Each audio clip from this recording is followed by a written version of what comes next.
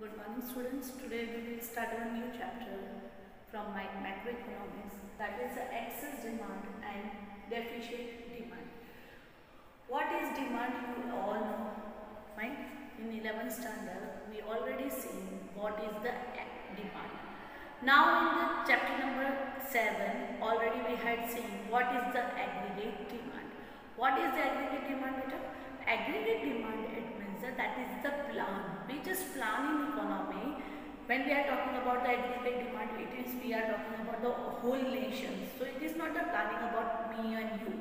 This is planning about all the people. So all people are uh, planning about the demand. Suppose I am just I am demanding in future 100 units of so and so, 100 units of chalks. So that is my individual demand. But every person demanding the chalk and that is the aggregate together. It, it is called the aggregate demand. But aggregate demand is a simple way. This is just a planning. Fine. It is just a planning. Actual picture is may be different because suppose मैं plan कर रहा हूँ in future दो साल बाद ये करने वाले बट दो साल बाद now the see the situation of 2020 where we just plan out that next year we, uh, we just go through these books and this reference book I am planning out that कि मैं आप लोगों को ये पढ़ाऊंगी ऐसे करेंगे वैसे करेंगे and but all plannings that shut down because of the situation is different so actual and planning always is different 99.9% every situation we just see that actual and planning is different. So when we are talking about the aggregate demand, aggregate demand is just a planning. We had seen on the seventh chapter. Fine. Now situation is what? Okay, what about that excess demand नाम से clear होता। है excess it means more excess it means more so it means just the simple definition of excess demand it means your your planning is hundred units fine suppose in future I am planning the hundred chalks that is the hundred units planning Fine. But actual I just plan when the actual planning is going on. I just plan the uh, sorry. I just demanding the 120 units chalks. It means 20 numbers of chalks. So 20 is the excess demand. So what is the excess demand? Planning से ज़्यादा अगर आप demand करते हो it means your excess demand.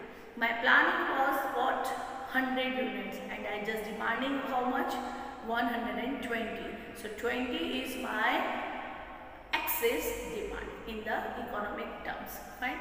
So see here excess demand it refers to the situation when actual AD AD we are talking about the actual AD. It means 120 units. Fine. When actual AD is more than the planned AD. Planned AD, our planning is 100 units. right And actual we done what? 120 units. Plan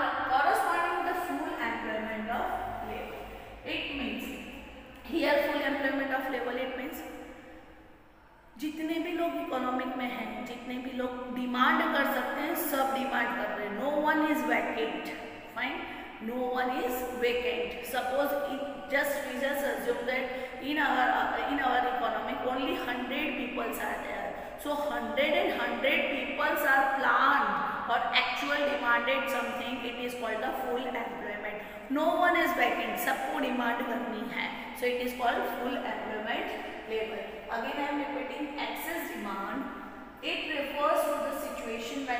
actual demand is more than the planned demand, aggregate eh, demand corresponding to full employment level of output of the economy. Now showing the graph also. This is the y-axis and the y-axis is the put the AD aggregate demand. This is the x-axis which is income output whatever you have. Now you know about that this is the AS. AS equal to Y always. And AS always clear you know all, all, all these things. So a this is your as and this is your ae ad already already you know about the ad ye cheez aap already pata hai or we had seen in the that previous chapter. But so what is ad c plus i consumption plus investment. Now when we our plan ad this is our plan ad this is not actual.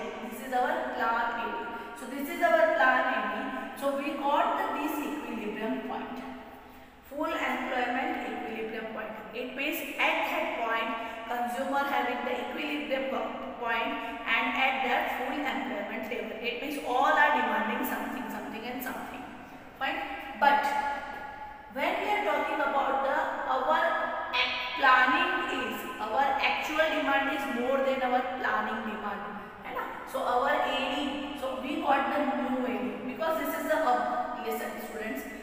this is y-axis, y पे जब upward side direction means the positive direction as you know people. So this is the positive way. So this is excess demand.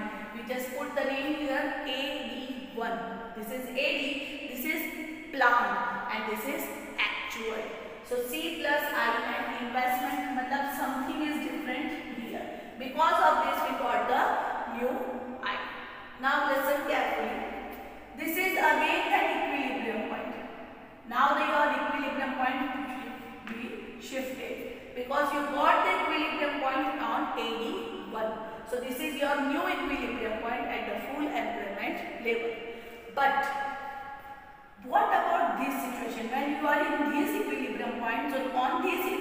Point to this equilibrium point, you got the one situation, and it is called inflationary gap. It is called inflationary gap.